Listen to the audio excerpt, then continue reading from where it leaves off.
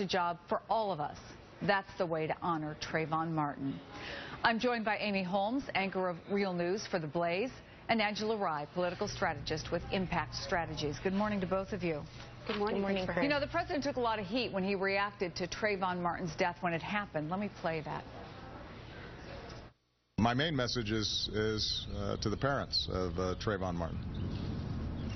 Um, you know, if I had a son, he'd look like Trayvon.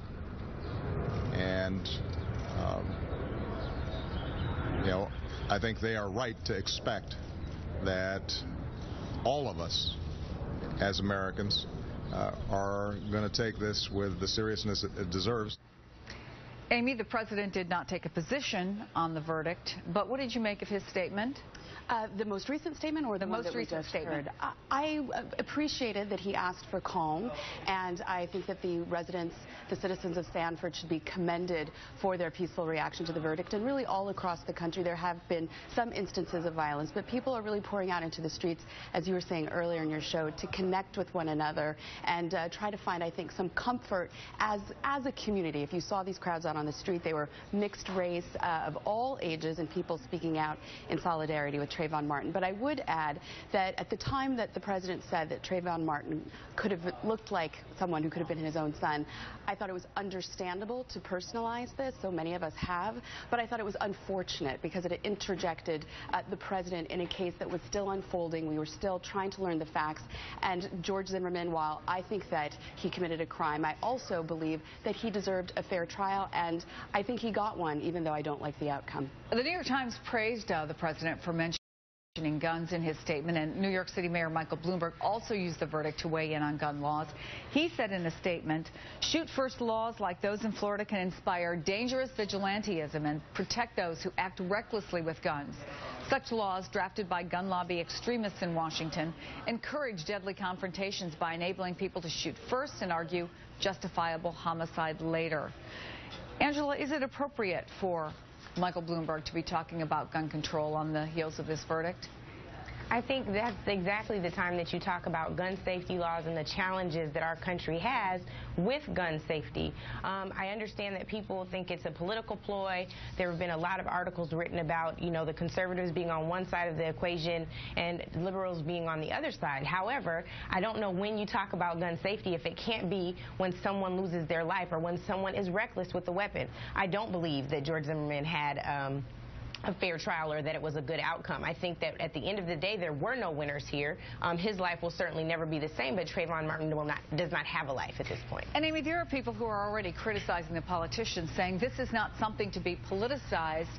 But when you have something that has sparked such a nerve and has raised so many questions about so many aspects of our life, isn't that when we want politicians to get involved? Isn't that when we want them to say, if we have a problem, here's how we need to talk about fixing it? Right, and I think that, of course, we do want leadership from our politicians, but what is the definition of that leadership and how are they moving us forward?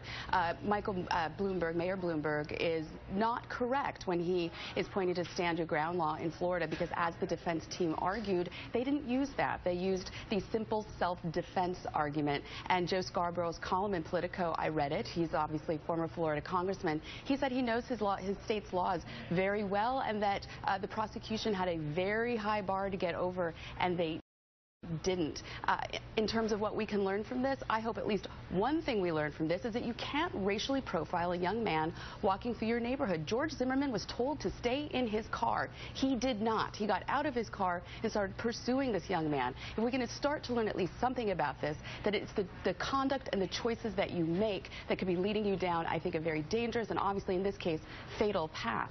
Steve King, the uh, Republican uh, from Iowa, had this to say about the president in regards to the George Zimmer, uh, to the Zimmerman case. Let, let me play that. The evidence didn't support prosecution, and the Justice Department engaged in this, the president engaged in this, and turned it into a political issue that should have been handled exclusively with, with the law and order. Angela, what's your reaction to that? My reaction to that is that he's fundamentally inaccurate. Um, this case, from the very beginning, it took more than 40 days to even charge George Zimmerman. From day one, Trayvon Martin was treated not only as a suspect by George Zimmerman, but also by the police department. That's why he, his dead corpse was subject to toxicology testing. George Zimmerman never was. So whether or not he agrees with the president and the Department of Justice weighing in, it was clear that Sanford, Florida could not handle it by themselves. That is typical of their race, race highly charged racial past, and it's typical of what happened in 2013 with the outcome of this case. Angela Rye, Amy Holmes, good to have both of you on the program. Thank you. Thank you, Grace.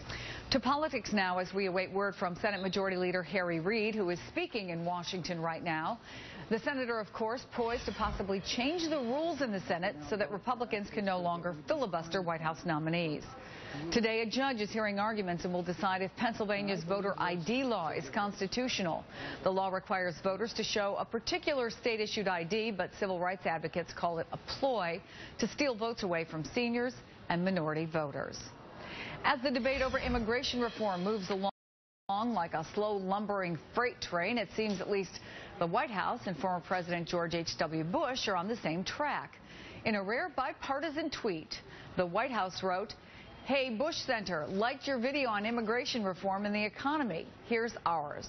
The reply, thanks, White House. Right back at you. Good to have people talking about the important connection between growth and immigration.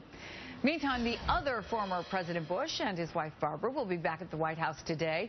The pair are invited to lunch in a ceremony where they'll recognize the 5,000th Daily Point of Light Award. The program launched decades ago by George H.W. Bush Honors Volunteer Service. The Hoover Dam's power plant uses smart grid technology to conserve energy when it can and make more when